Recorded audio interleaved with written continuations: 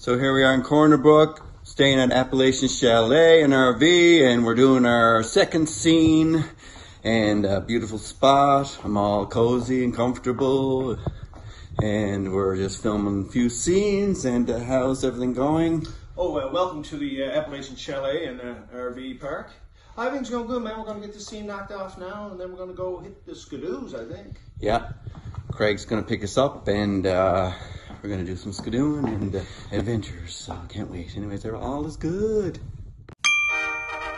Appalachian Chalets and RV. Start your adventure here.